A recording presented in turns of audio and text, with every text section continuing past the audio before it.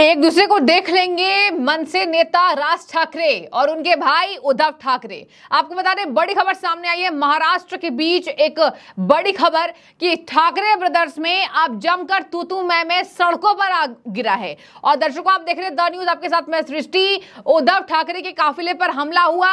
उसके पहले मन से प्रमुख राज ठाकरे, जो उनके भाई हैं, उनके ऊपर उद्धव के गुंडों ने हमला किया था। और गुंडे शब्द का प्रयोग मैं नहीं कर रही हूँ। गुंडे शब्द का प्रयोग एमएनएस के तमाम लीडर्स ने किया है। सोशल मीडिया पर गुस्सा फूटा है इन तमाम लीडर्स का। मन से नेता राज ठाकरे ने कहा है, देख लेंगे, पंगा मत लेना। उद्धव ठाकरे ने भी पीछे नहीं हटे भाई, उद्धव ठाकरे आएँगे। पूर्व मुख्यमंत्री रह चुके हैं, कह रहे हैं, आ जाओ आ जाओ, देख लेंगे। तू तू, मैं मैं बिल्कुल भाइयों में, और इसका फ़ायदा कांग्रेस पार्टी उठाएगी, एनसीपी उठाएगी, बीजेपी भी थोड़ी सी उठा सकती है। दर्शकों, सबसे पहले सुनिए कि यहाँ पर एमएनएस नेता, यहाँ संदीप देश पांडे इस तमाम लड़ाई झगड़े के विवाद पर क्या कह रहे हैं? देखिए, आपको मालूम है कि बीड में जिस प्रकार से राज साहब का जो गाड़ी का काफिला था, वो रोका गया, सुपारी फेंकी गई उसका वो जवाब था, वो एक एक्शन थी। उसकी जो रिएक्शन है, वो कल हुई। वो हमारे महाराष्ट्र सैनिकों ने एक्शन की रिएक्शन दी। बीड में हुआ वो क्या था?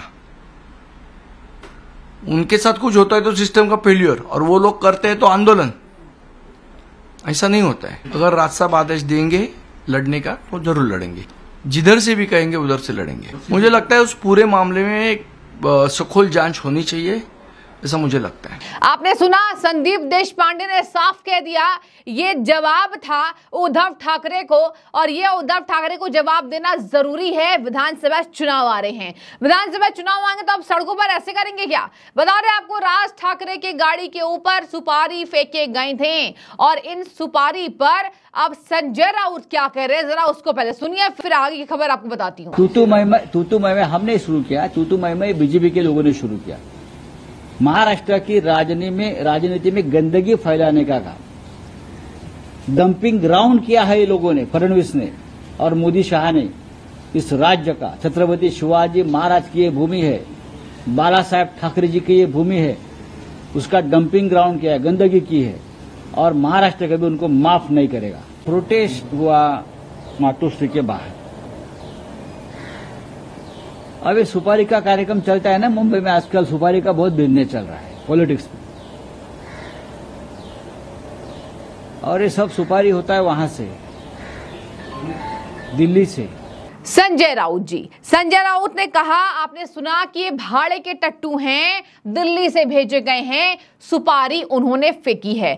दर्शकों, दिल्ली मतलब कि उनका साफ़ अंदाज़ा है केंद्र सरकार। दिल्ली में कौन बैठा है? बीजेपी बैठी है एनडीए बैठी है, और तमाम यहाँ पर जो सरकार चला रही है, वो तमाम दिग्गज नेता यहाँ पर दिल्ली में बैठकर अपनी राजनीति करते हैं। अब यहाँ पर कहा जा रहा है संजय राउत के द्वारा कि ये सुपारी दिल्ली से आया है, और ये भाड़े के टट्टू राज ठाकरे पर बड़ा कटाक्ष किया है संजय राउत ने। उद्धव ठाकरे गैंग के नेता है, सांसद हैं और देखिए क्या कह रहे हैं।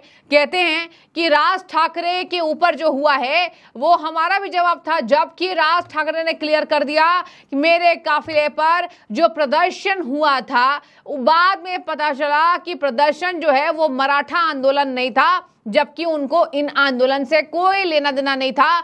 उद्धव के भेजे गए ये गुंडे थे और ये कार्यकर्ता नहीं थे, ये उनके समर्थक थे, जो कि यहाँ कार्यकर्ता के तौर पर काम करते हैं, पार्टी में है भी नहीं, लेकिन आंदोलन जीवी हैं। दर्शकों, इसी वजह से दोनों ब्रदर्स में ये वार तकरार और अब पलटवार शुरू हो चुका है। और आपको बता दें, यहाँ पर उद्धव ठाकरे की भी अब पूरी बेजती हो चुकी है। मनसे की महिला नेत्रियों ने उद्धव ठाकरे के काफिले के ऊपर चूड़ियाँ फेंकी। इसके साथ तमाम समर्थक ने गोबर फेंका है। और ये महाराष्ट्र में हो रहा है। ये क्या करेंगे लीडर्स? एक बात जवाब देना पड़ेगा इनको। ये लीडर्स इतनी लड़ाई के बीच में क्या महाराष्ट्र को संभाल पाएँगे क्या? और बता दें आपको राज ठाकरे ने इस लोकसभा चुनाव में ठंडा ठंडा एक विवाद पैदा इसलिए किया, मैं ठंडा इसलिए कह रही हूँ आप खुला समर्थन भी नहीं दिया, लेकिन समर्थन दिया था।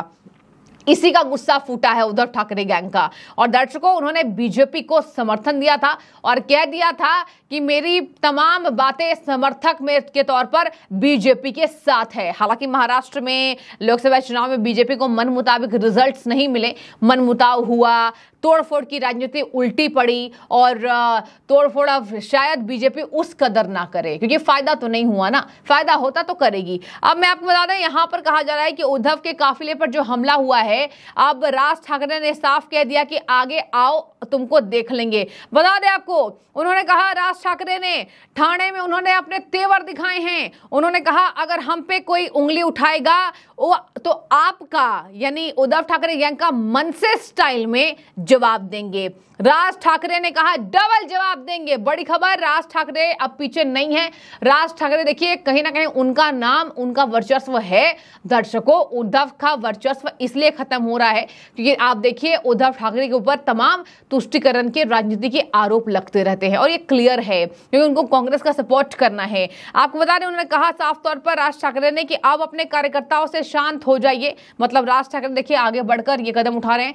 कह रहे हैं, कार्यकर्ताओं से अब शांत हो जाइए, लड़ाई छोड़िए। महाराष्ट्र की राजनीति में ऐसा होना ठीक नहीं है, क्योंकि बाला साहब ठाकरे का नाम है तो ये खराब करना नहीं चाहते हैं राज ठाकरे। उन्होंने कहा, शांति से हम लड़ेंगे, जहाँ ज़रूरी हो डबल डोज देंगे। संजय राउत तो खैर पीछे नहीं हटेंगे। आपको मैंने बताया, भारे के टट्टू तमाम बातें बोली राज ठाकरे को, और दिल्ली में भी केंद्र सरकार के ऊपर आरोप लगाया इनडायरेक्टली और बता दें आपको, उन्होंने पोस्ट किया, उद्धव ठाकरे के काफिले पर हमले के बाद कल ठाणे में उद्धव ठाकरे के काफिले पर जो मेरे कार्यकर्ताओं ने हमला किया है, वो गुस्से के कारण हुआ। ये मन से नेता ने कहा और मेरे नव निर्माण यात्रा के दौरान कई लोगों ने मुझे जानबूझकर परेशान करने का प्रयास किया है। शुरू में ऐसा लगा कि कोई आंदोलन है, बाद में लगा मराठा आरक्षण के नाम पर जो विरोध हुआ, वो वास्तविक में मराठा आरक्षण के नाम पर कोई विरोध नहीं था।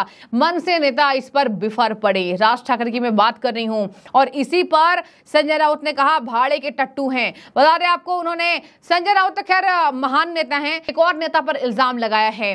उनका नाम है अहमद शाह अब्दाली। अहमद शाह अब्दाली पर उन्होंने कहा है कि यहाँ पर हमले को लेकर पार्टी सांसद संजय राउत ने पहले कहा था कि दिल्ली के अहमद शाह अब्दाली ने मेरे खिलाफ भी सुपारी दी थी। तो ये तमाम महाराष्ट्र की राजनीति में तोड़फोड़ नहीं, दर्शकों उलटफेर भी नहीं, यहाँ मारपीट शुरू हो चुका है।